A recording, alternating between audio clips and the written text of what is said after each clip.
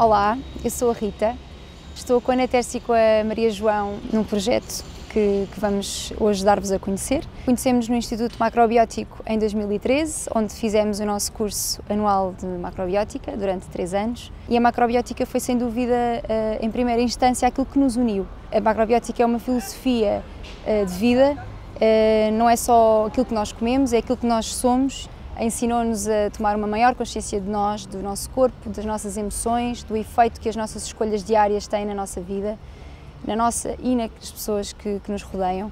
Percebemos que podemos uh, influenciar positivamente a vida dos outros, começando por melhorar a nossa. E é isto que queremos partilhar convosco.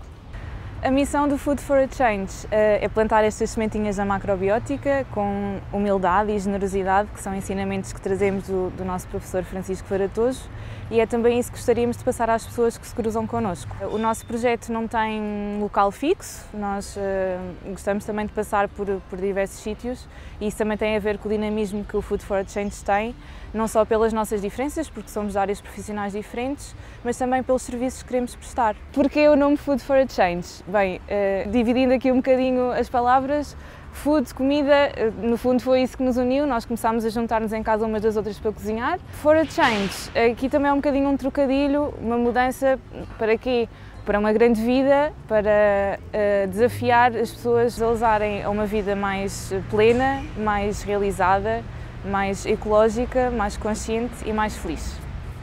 Esta por ser uma filosofia de autoconsciencialização, de autossugestão, que nos fortalece, que nos educa a personalidade.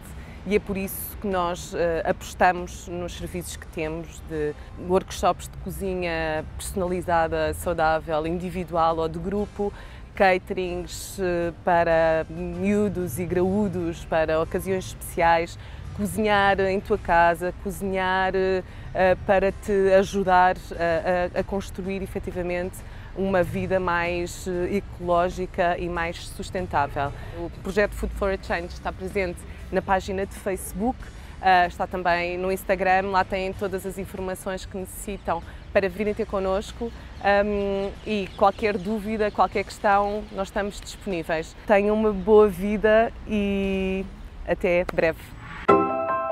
Thank you.